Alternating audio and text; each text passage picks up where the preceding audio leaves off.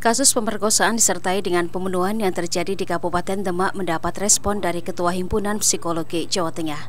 Fenomena pembunuhan orang-orang terdekat dalam lingkup satu keluarga dinilai oleh Ketua Himpunan Psikologi sebagai aksi yang sangat disayangkan terjadi. Dalam kasus pemerkosaan yang disertai pembunuhan kakak ipar terhadap adik iparnya tersebut, Ketua Himpunan Psikologi menilai ada kecenderungan pelaku takut terungkap aksi pemerkosaan yang telah dilakukan sebelumnya. Pasalnya, pelaku yang sudah memiliki rasa cinta terhadap korban takut ada orang lain yang ingin mendekati serta aksinya ketahuan keluarganya.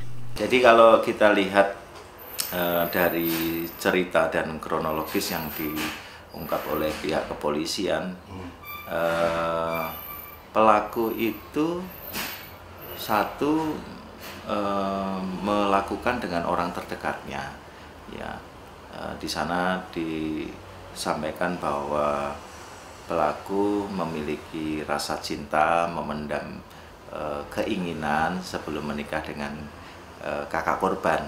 Ya, tapi sebelumnya kalau kita lihat bahwa di budaya e, kenapa orang laki-laki membunuh di orang terdekatnya dan orang-orang yang lemah gitu ya karena memang ada budaya di mana ada toxic masculinity. Jadi kayak menunjukkan kekuasaan. Rata-rata orang pemerkosaan, eh, pembunuhan disertai dengan pemerkosaan eh, dilakukan oleh orang-orang terdekat yang dia itu di bawah otoritasnya. Jadi dia laki-laki merasa kuat, dia sudah tahu medan eh, kondisi kelemahan dan kelebihan si korban sehingga dia berani melakukan.